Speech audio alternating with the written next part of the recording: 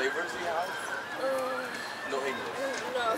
Sure. Can I, can I, uh, okay. Vanilla, chocolate, orange, strawberry, banana, kiwi, pistache. Imagine that you are in Russia. It is extremely hot. And you want to eat ice cream. But, unfortunately, you don't understand anything about Cyrillic characters. Rest assured, it won't be the end of the world. Simply call Google.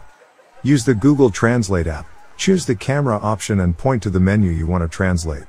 But first, don't forget to download it in the language you want. In this case, we downloaded Russian because that's what we needed.